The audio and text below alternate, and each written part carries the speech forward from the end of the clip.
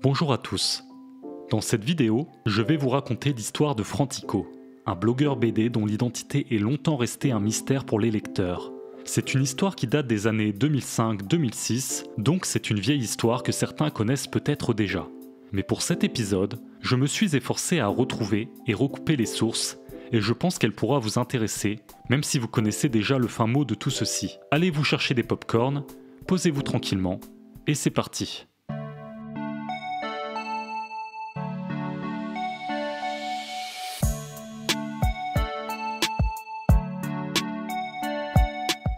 Frantico est un auteur de bande dessinée sorti de l'ombre le 1er janvier 2005 à l'occasion de l'ouverture de son blog internet, le blog de Frantico.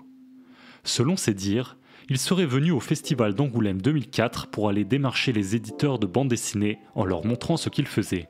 Malheureusement pour lui, il s'était alors fait recaler, son style étant jugé immature et grossier. Et pour cause, les histoires de Frantico racontent sa propre vie, la vie d'un pauvre type complètement obsédé qui passe ses journées à se lustrer la quenouille et à glandouiller chez lui. Suite à ce refus, il ne se démonte pas et décide de dessiner et publier une planche chaque jour sur un blog internet qu'il nomme le blog de Frantico. Ce blog restera actif 5 mois avant d'être laissé à l'abandon et de finalement disparaître. Il ne va lui falloir que quelques semaines pour que son blog fasse le buzz dans la blogosphère BD, les lecteurs étant intrigués par ce personnage atypique au style cru et acerbe. Au plus haut de sa gloire, le blog arrivera à attirer presque une dizaine de milliers de visiteurs chaque jour. C'est un immense exploit de la part d'un inconnu qui sera rapidement sollicité pour des interviews et qui sera finalement publié par Albin Michel. Le blog de Frantico, version papier, paraîtra ainsi en 2005. Gros doigt d'honneur aux éditeurs qui l'ont envoyé paître à Angoulême. Dit comme ça, c'est une belle histoire de réussite. L'histoire d'un mec qui a su prendre sa revanche sur la vie et réaliser son rêve. Mais dès la publication de ses premières planches, certains lecteurs se sont mis à s'interroger sur l'identité réelle de ce nouveau venu. Ce qu'il faisait ne semblait pas être l'œuvre d'un amateur, c'était bien trop calculé, bien trop professionnel. Son style rappelait à certains celui de Fred Nedart, tandis que le récit de ses nombreuses frustrations sexuelles évoquait les bandes dessinées de Riyad Satouf. Et c'est ainsi que débute la grande quête de l'identité de Frantico. Était-il réellement un nouveau venu? Ou était-ce l'œuvre d'un vieux de la vieille qui voulait simplement s'amuser en se faisant passer pour quelqu'un d'autre? La blogosphère était en ébullition. La photo de Frantico. Alors que les spéculations sur l'identité de Frantico vont bon train, Melaka, une auteure de bande dessinée principalement active sur son blog, va rentrer dans la danse. Elle publie au cours de l'année 2005 sur son blog les récits de son voyage en Corée, où elle se rendait pour participer à un festival de BD auquel elle était invitée avec quelques autres de ses amis dessinateurs. Parmi eux, on pouvait retrouver Boulet, Libon et bien sûr le fameux Frantico. Le 30 mai 2005, elle publie deux photos de Frantico. Une où on le voit manger au resto avec le reste de l'équipe, et une autre où on le voit dessiner pour son blog. Frantico ressemble très pour trait au personnage qu'il dessine. Il est petit, a très peu de cheveux et arbore un bouc reconnaissable. L'homme sur cette photo est bien un parfait inconnu aux yeux du grand public, et le voyage dont parle Melaka semble cohérent avec le blog de l'intéressé dans lequel il raconte les galères qu'il a vécues lors de ce festival. Ces photos semblent donc confirmer que Frantico est bel et bien un nouvel auteur qui fait ses premières armes dans le milieu. Mais une partie des lecteurs accuse le petit groupe d'auteurs d'être de mèche et d'avoir inventé ce voyage en Corée et d'avoir falsifié les photos. Selon leurs recherches, le seul auteur à être parti dans cette région du globe à cette période pour un festival, c'est Lewis Trondheim en mars 2005, soit deux mois avant. Il aurait très bien pu s'inspirer de son voyage là-bas pour donner corps à son personnage de Frantico. D'ailleurs, il semblerait même que le festival auquel prétendent avoir participé Melaka, Boulet, Frantico et les autres n'ait jamais existé. Malgré ces nouveaux éléments, Trondheim nie tout en bloc. Il faut dire que Trondheim est assez réservé sur les choses du plaisir, ce qui est tout l'inverse de Frantico, qui ne semble penser qu'à ça. Bref, le personnage ne lui ressemble pas. Mais finalement, Trondheim se prend au jeu et s'amuse alors à laisser planer le doute, comme vous pouvez le voir dans cet extrait du journal 20 minutes. Là où une partie du public prend cela pour des aveux, certains lecteurs se mettent alors à penser que c'est une fausse piste et que Trondheim essaie de couvrir quelqu'un d'autre. L'enquête n'était donc pas terminée.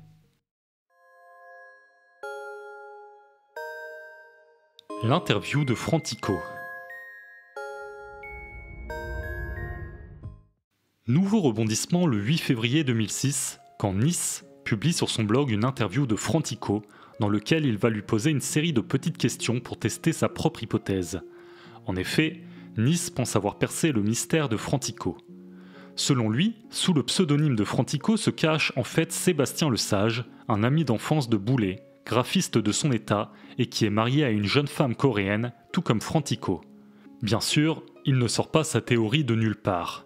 Il se base sur une phrase de Lewis publiée sur le site des Murmures du Donjon, dans laquelle l'auteur dit J'étais en contact avec Boulet, que je harcelais pour connaître le vrai nom de son copain Frantico. Maintenant, je le sais. Ses initiales sont SL, et son prénom, c'est pas François.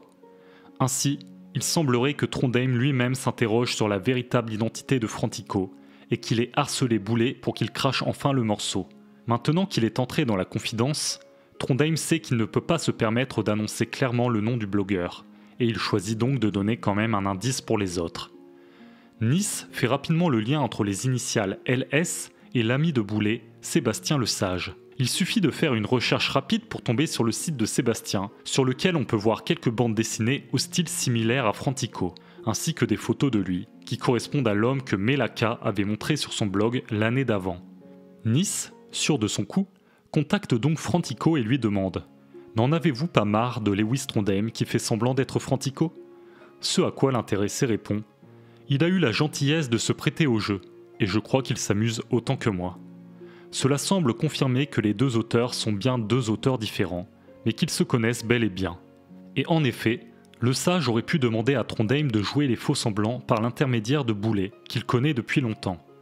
Nice propose durant l'interview de ne pas révéler l'identité du jeune graphiste pour que le jeu de l'anonymat se poursuive, ce à quoi Frantico répond qu'il s'en fout, puisque tout le monde est persuadé que c'est Lewis Trondheim, et donc que personne ne va croire Nice.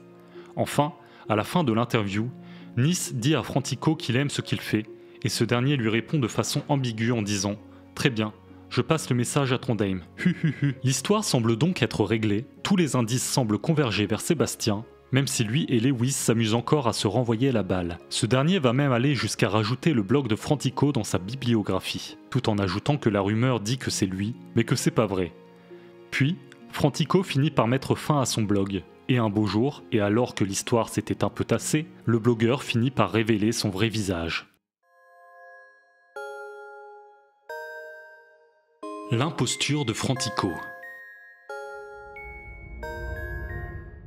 Revenons un peu en arrière dans le temps, un peu avant la fermeture du blog de Frantico, car il nous manque un dernier suspect dont on aurait tort d'oublier de parler. Vers avril ou mai 2005, Frantico annonce que son blog a été piraté par des petits malins qui vont essayer de se faire passer pour lui. En effet, parmi les planches publiées sur son blog à ce moment-là, il révèle que certaines n'étaient pas de lui, mais d'un autre auteur bien plus connu qui a réussi à se procurer son mot de passe. Pire encore, la planche signée Frantico publiée dans le magazine de l'écho des savanes à cette même période était un postiche, une parodie. Ce n'est pas lui qui l'a dessiné. Les lecteurs du blog tombent des nues, et la direction de l'écho des savanes aussi. Tout le monde s'est fait duper. Un autre artiste a imité le style de Frantico et a publié à sa place, à croire que tout le monde essaie de se faire passer pour Frantico. L'identité du faussaire est rapidement découverte. Il s'agit de Fabrice Tarin, un auteur-dessinateur de BD qui avoue avoir piraté le blog pour se marrer avec son ami Fred Nedart. L'imitation étant parfaite, tout le monde n'y voit que du feu. Il faut dire que les deux amis sont des habitués des canulars. Fred s'est par exemple plusieurs fois introduit dans des émissions comme C'est mon choix pour s'y inventer une vie en endossant une nouvelle identité. J'ai une libido je, que je, que je satisfais en me masturbant. Un faux témoignage dont l'auteur est en réalité un pro de l'imposture. J'avais déjà couillonné auparavant un sous c'est mon choix qui s'appelait Sacré Laurence. Vous ne mettez jamais de chauffage en hiver. Le, le froid, ça tue les microbes. Ainsi, Fabrice et Fred auraient fait semblant de pirater leur propre blog pour se jouer des lecteurs et jeter le trouble dans l'enquête. Cela serait donc un coup monté pour brouiller les pistes. Nous avons donc plusieurs suspects. Trondheim tout d'abord.